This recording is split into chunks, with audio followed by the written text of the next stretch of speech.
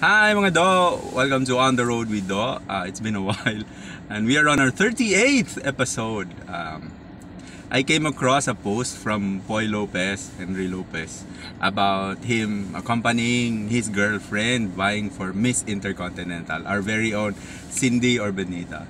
And I got reminded by her winning answer. And one of the lines in her winning answer said, Comfort the afflicted and afflict the comfortable it, it struck me quite strong. You see, when I got back from Bacolod City, now in Cagayan de Oro City, I gravitated to a group of people uh, who were once my students, no, were relatively very comfortable in life.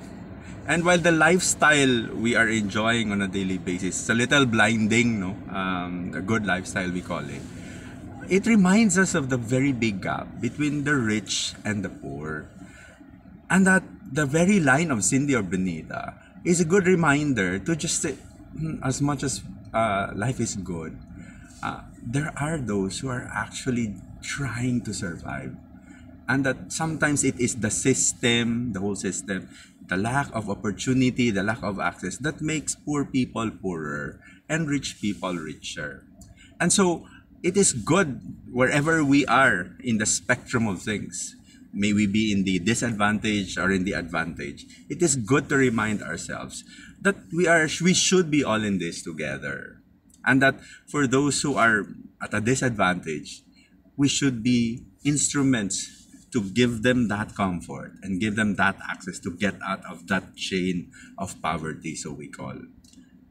And if we are also very much on an advantage, it's a good thing to, you know, disturb us from time to time and say, hey, this is not just uh, the world of the haves. This is not just the world of the rich.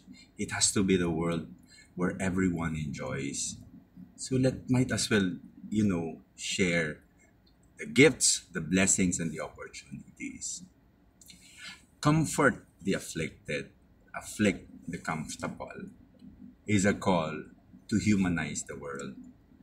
But if we would put it down in simple terms, it is simply a call to help each other. Have a good day mga do.